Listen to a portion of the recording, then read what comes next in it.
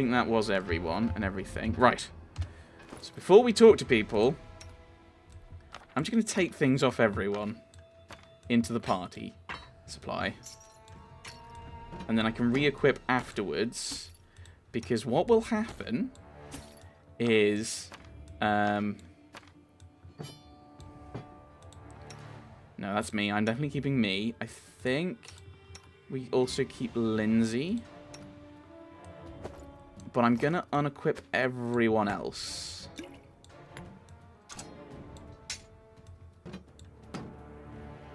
Okay. Uh, oh, you can have helmets. Okay, that's cool. I'm actually, I am going to unequip Linzi as well. I think we're going to definitely keep her, though. But I'm slightly terrified. Because we're going to lose some of our people.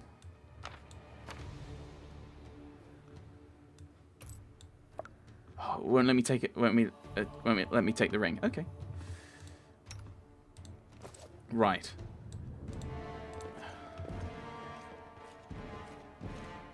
Not even departed we already won our first battle. Seems like a good omen, right? Casey? So many deaths, the night stokes our rage, the grief and tears will come at dawn. Esvanki Keeg. An, an unheard of atrocity, mark my words, we'll find out who was behind this. Let's loot the giant as well. Great axe. And Aldori.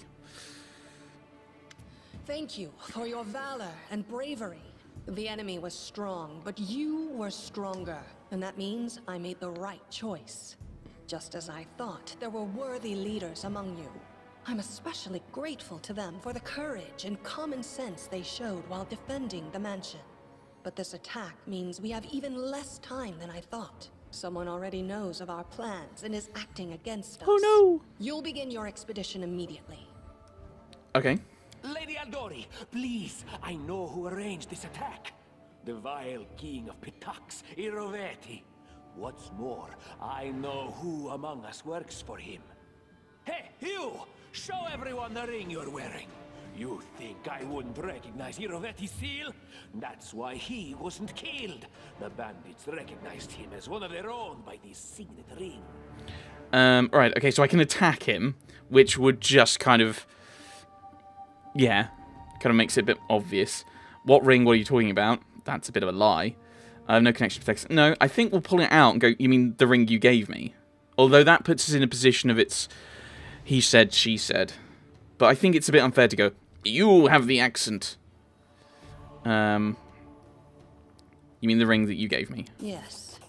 Such a gambit would be typical of Irovetti and his henchmen. And yet, it still seems suspicious. Oh, I kept it. Oh, okay, so if I... Oh, I could have dropped it. Oh, okay. There's definitely a spy among us. But who? All I have is one word against another. I'm afraid you're both under suspicion. Makes sense. They both came to your aid, Lady Jamandi.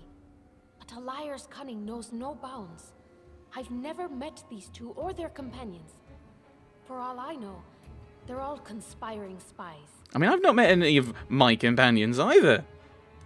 How could you say that? We fought together. We literally went through fire together. And then you vanished into thin air. After you promised you'd wait. And now everyone's accusing each other of being a spy. My words might be rash. Ah. I bet my life despise anyone but this man. I saw how he dealt with those creeps with my own eyes. A true warrior. I'd go with him through hell and high water. This purple crook, on the other hand. He's got the eyes of a spy. And the mug of a spy! Is where he puts his coffee of a spy. right.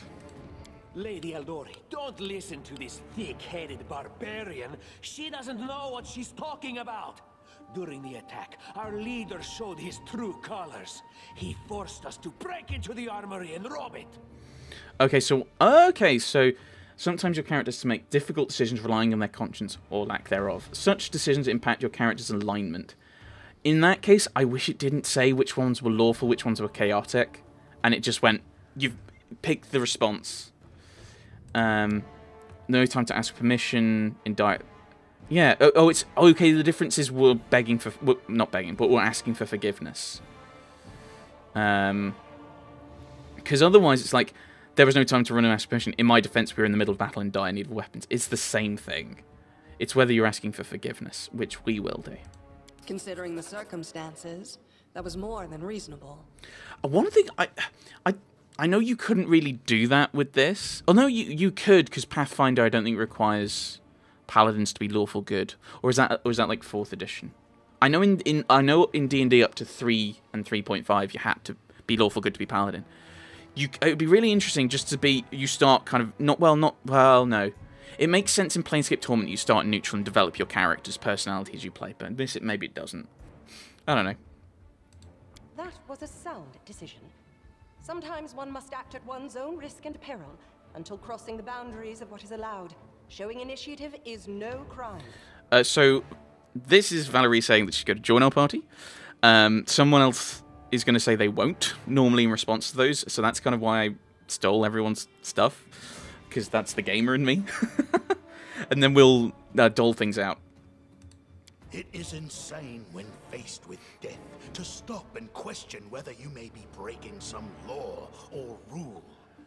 Even more insane would be to ask forgiveness for making the right decision. Sorry, but your words display a lack of wisdom. No, your words display a lack of wisdom, because I should still. You know, I've still basically stolen from her armory and the guards. I didn't take the money.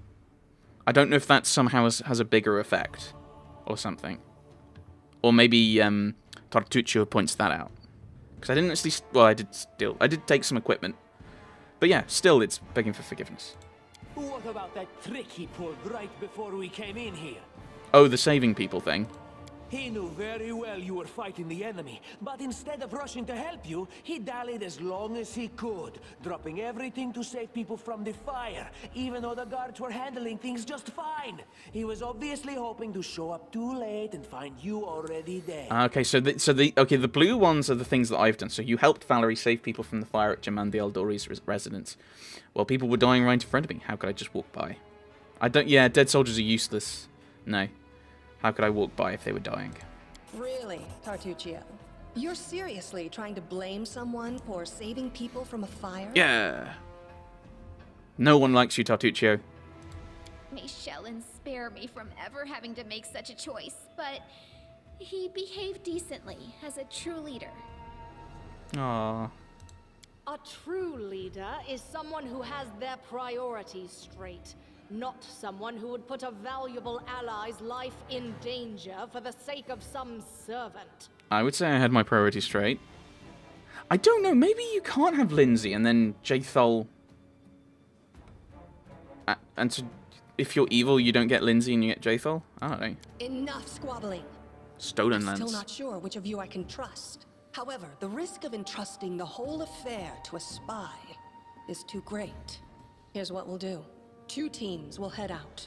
That way, I'll know at least one group can be counted on to serve my interests in the stolen lands. So that's where we're headed. So what's it say? The Stolen Lands are an almost wholly unsettled region in the northeastern section of the River Kingdoms, bordering the nation of Brevoy, and serving as a buffer between Brevoy and the River Kingdoms. Traditionally the haunt of bandits and monstrous humanoids.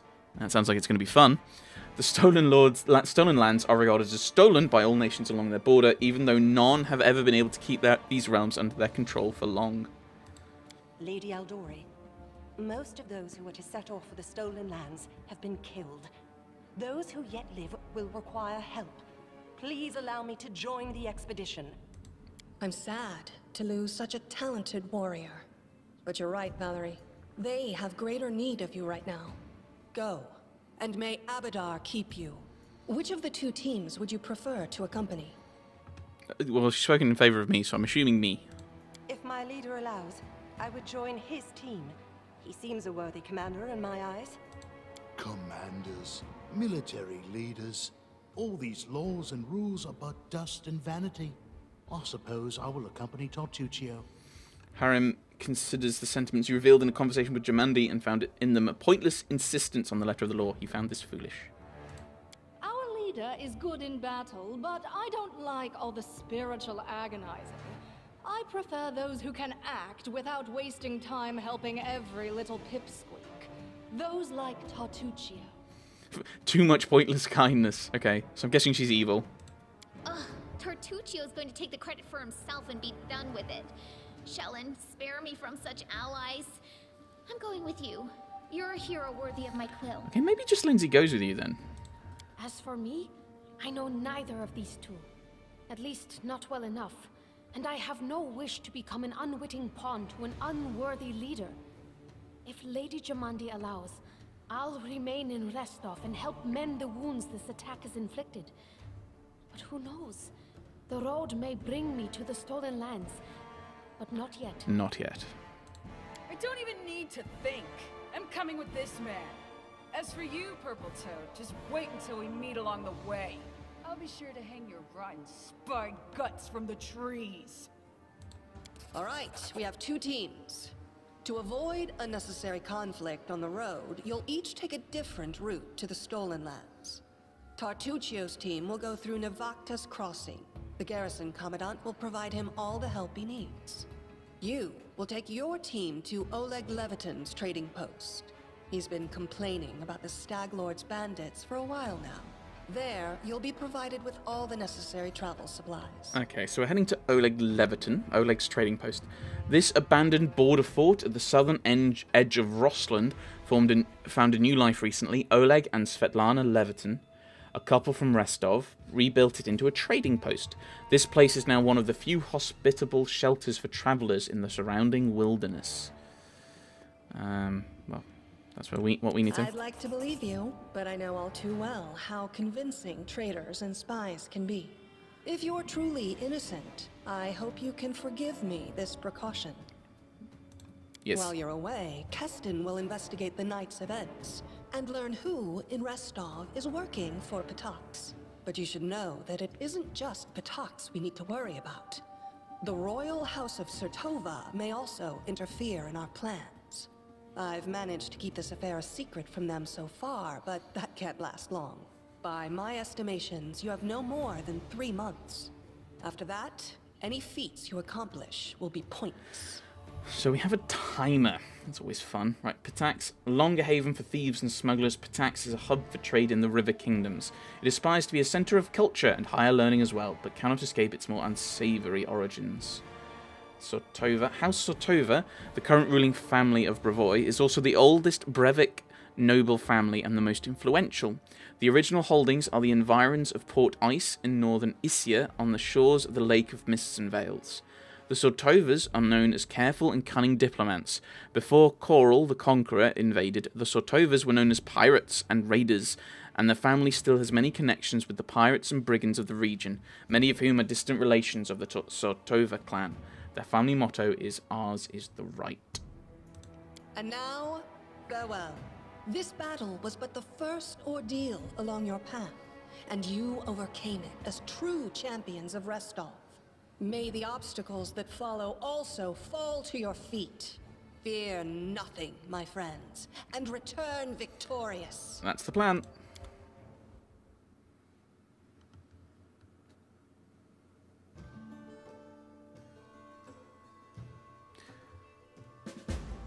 Alright, things are happening. Ah! Right, I'll, I'll wait for the next bit for me to look at the journal. We'll see what. Surviving a terrible night, our small team set off to brave our fate. Beware, stolen lands.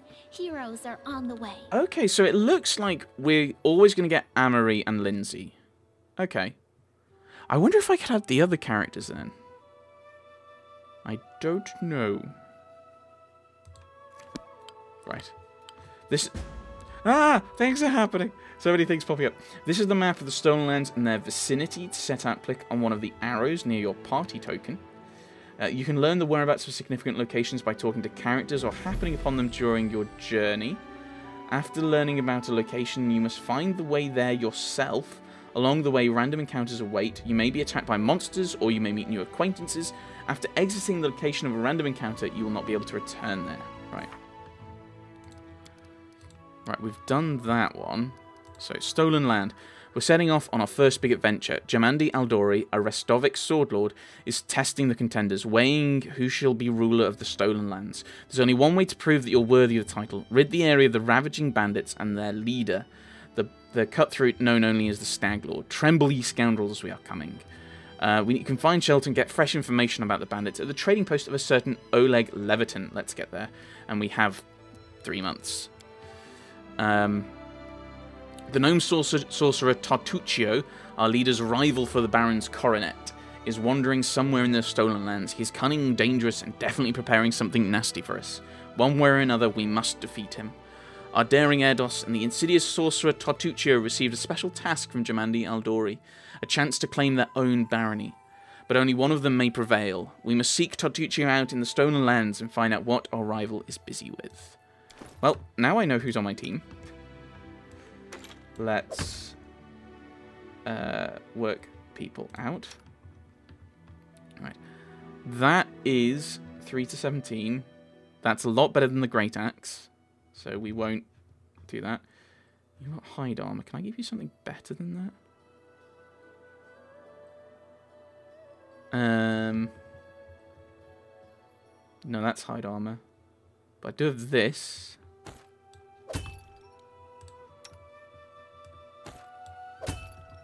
No, you had banded mail. Banded mail's better, isn't it? Can you have banded mail? No, you can't have banded mail. It won't let me move that around yet. Um, ba ba ba ba ba. You want your tower shield back, and one to ten, so that's better. Right, so there's our tanky lady.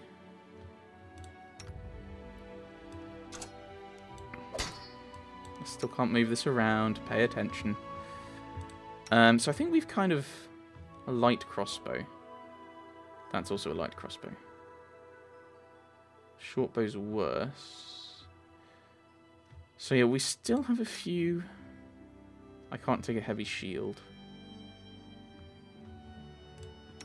But you can for some reason. So she's got a bit of arm armor just in case she ends up there. I'll give you your I'll give you that back, and you had the potion of shield of faith, and I'll give you some health because you're going to be tanking a lot. Right, what's people's armor class? 17, 14, 23, 16. Oh, because I've not actually given you any armor again. Alright. Alright, so I've got the lowest, I think, so I'll take the bases of armor. And that upgrades my armor a bit.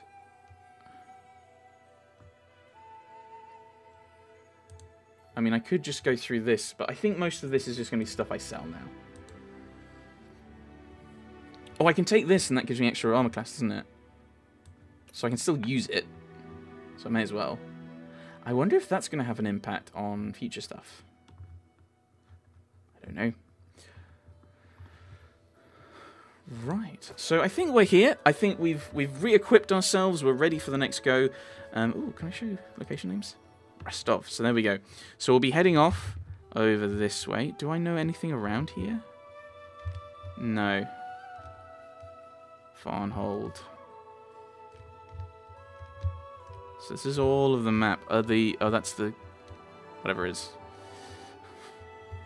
Right, I think we'll put the curtain here, and next time we will progress from the prologue to the next area.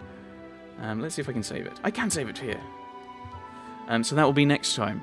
We'll be progressing onwards and uh, to, well, maybe here and work out what happens from there as we visit Oleg Leveton and his outpost. Thanks for watching, everyone. Thanks for watching.